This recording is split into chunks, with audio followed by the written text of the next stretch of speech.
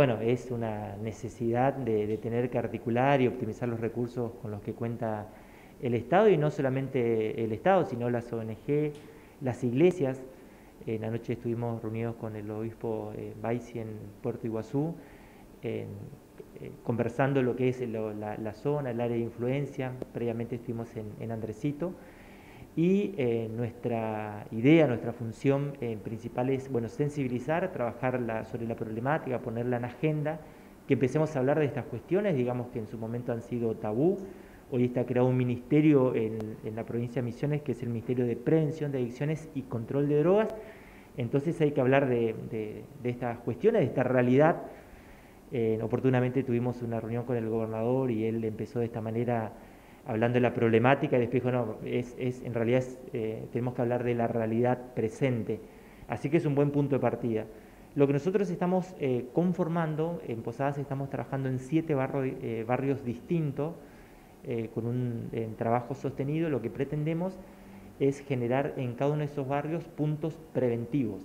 Punto preventivo implica, digamos, después de un trabajo territorial, de empezar a conocer las realidades del barrio, de las familias, empezar a, conversar con cada una de ellas. Hay algunos que realmente no demandan ayuda, entonces lo que, eh, queremos generar es que ellos hablen, que lo pongan en palabra, y hay otros que sí están atravesando, lo reconocen, piden ayuda. En esos casos buscamos un sistema de, atención, con, eh, contención, de oficiar un poco de tutor, de acompañarle en la mayoría de los casos a adolescentes jóvenes a que inicien un tratamiento, a que puedan sostener un tratamiento, esa es la ventaja de estar en Posada, digamos, el, de buscarlo en el barrio, traerlo, esperarlo en manantial, en oficiar de tutor, acompañarlo, generar esa, esa relación de confianza con el adolescente o con el joven. Y eh, eso también lo que hace es genera un movimiento en el barrio, eh, se empieza a despertar una curiosidad y se empiezan a sumar otros que también están atravesando la problemática y los propios adolescentes eh, son nuestra referencia en, el barrio. Esto se da de una forma totalmente natural. entonces ese es el trabajo previo, después también en Posadas nos acompaña el municipio con otras acciones, tenemos también la policía comunitaria desde otra mirada, los foros eh, de seguridad eh, vecinal, entonces entendemos la necesidad de un trabajo en conjunto, articulado, en cada barrio hay una iglesia evangélica, estamos trabajando también con las comunidades de fe. Em, hoy a la tarde empezamos con un curso virtual de capacitación a comunidades de fe, con cinco módulos.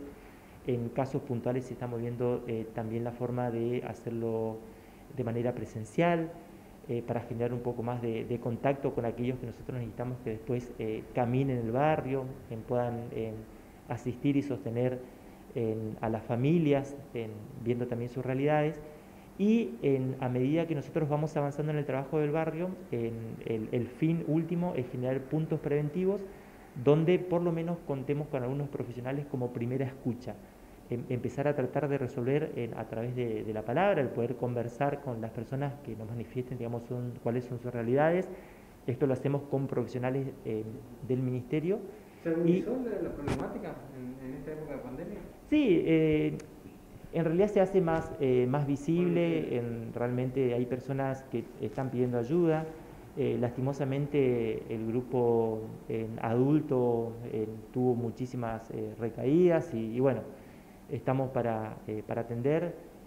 ha aumentado mucho la consulta en el centro asistencial en Manantial, la verdad con una demanda no solamente local, sino de distintos puntos de la provincia. Entonces, bueno, en, la continuidad del, trabajo en el barrio, eh, una vez que tengamos la capacidad instalada en el barrio, empezamos a sumar en otras cuestiones que tengan que ver con la contención y ver la posibilidad y capacidad de cada adolescente. Ahí vienen los puntos eh, deportivos, los puntos culturales, para esto sumamos al Ministerio de Deporte, al Ministerio de Cultura, para ver, digamos, cuáles son las capacidades innatas de cada adolescente o de joven y de esta manera también en contenerlo y resocializar, digamos, en, su, propio, en su propio espacio. Hay muchos que se lo resuelve a nivel comunitario en el barrio, hay otros que necesitan una atención ambulatoria en el centro asistencial manantial y hay otros que, bueno, requieren un periodo de internación para eh, bueno, una deshabituación digamos, al consumo de, sustancia. Para, ¿Con qué droga están teniendo mayor, la mayor problemática hoy?